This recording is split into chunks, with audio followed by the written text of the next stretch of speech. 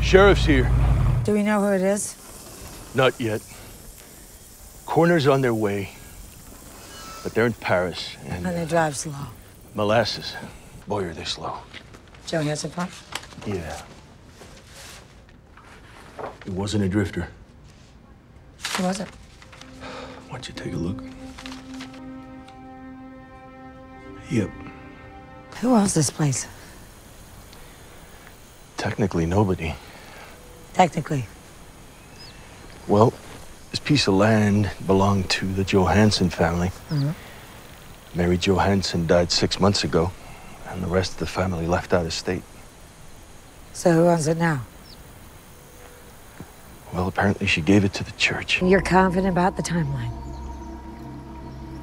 We'll see.